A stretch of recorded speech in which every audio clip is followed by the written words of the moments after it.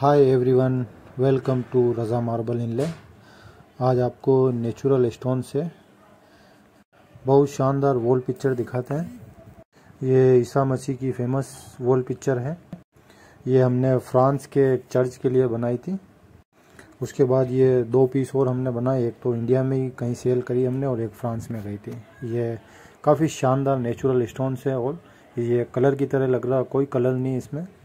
ये पूरी कंप्लीट हो चुकी है और ये इसमें आप देख सकते हैं, ये बैकग्राउंड पे जैसलमेर वाला स्टोन्स है। बाकी आँखों में मेलागाइड फेस में ओनेक्स वगैरह यूज़ कर रखा है। काफ़ी शानदार और एकदम फिनिशिंग से काम किया हुआ है। स्टोन्स में किसी का फेस वगैरह बनाना काफ़ी डिफ़िकल्ट होता है, लेकिन ये हमारी हमारी स्पेशलिस्ट है।